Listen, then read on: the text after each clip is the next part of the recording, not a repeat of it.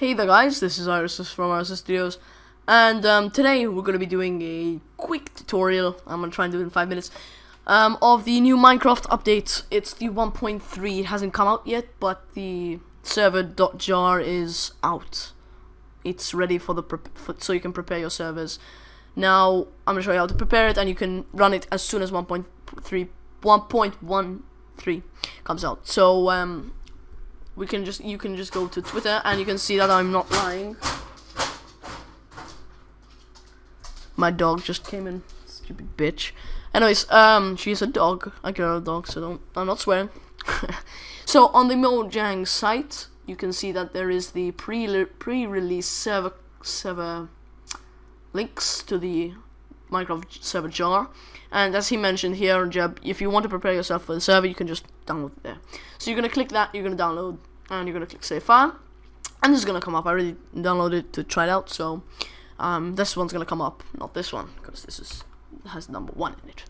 And um, you can just, whoops. Okay, so you can just close that tab, and you can move into your desktop and in the desktop you can make a new move new folder called Minecraft 1.1.3 tutorial test.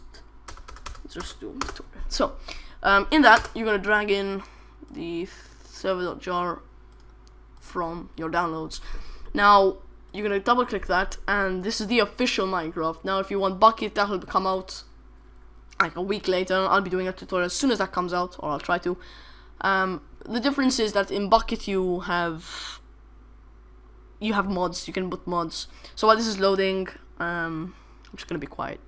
Okay, now that it's done, um, it shouldn't take as long for you because my computer's being a bit slow today because of the internet and um, the the whole thing.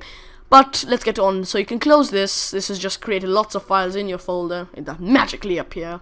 And the first thing you're gonna do is type yourself into the operator list. So you're just gonna type your Minecraft username, Irossus, which is for me, and um, you can put in banned players, their IPs.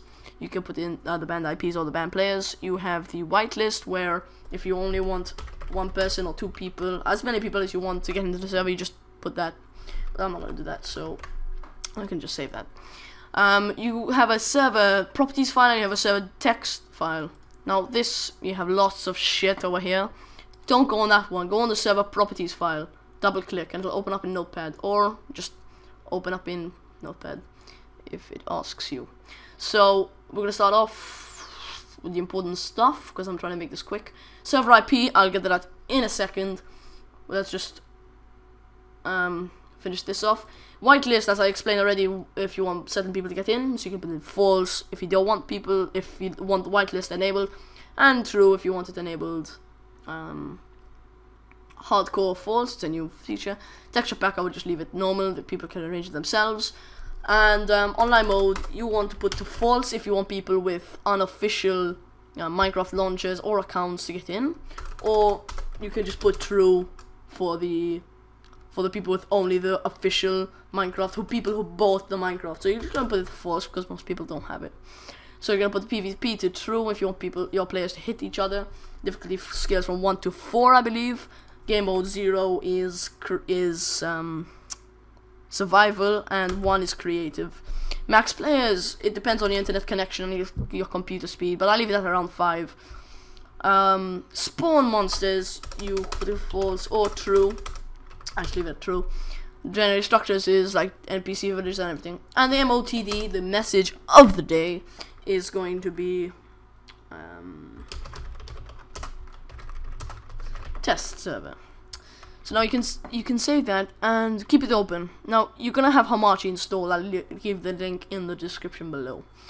Um, and you're gonna have to create your new um, network. Now this is making a server on Hamachi, so you can have your Minecraft thing, your Minecraft um, server hosted on. So you, network ID, you don't need to put any numbers in, just call whatever you want. So you just tell your this to your friends. So Irossus ID one two three. Gonna call that, and we're gonna call the password one two three. Feel free to join. Now we're gonna cl click create, and instantly it comes up. Now what you're gonna want to do is you're gonna copy this address that you're gonna find over here, right over here. That's your IP. Now the server IP you're gonna put there. And that's gonna be hosting the server on this IP through Hamachi and everything. Now, so your friends can join, you're gonna tell them this ID, the Irossus ID 123. So they'll go network, join an existing network, and they'll go, um, oh, I want to join Irossus, the one that you've told them ID 123. It is case sensitive, I believe. And then you tell them the password 123. And they can join, I can't join my own server. So then you can go straight ops we've done. Okay, this can we can save. Um, we run the Minecraft server again. Shouldn't take long. Okay, it's done. See, my computer's fast.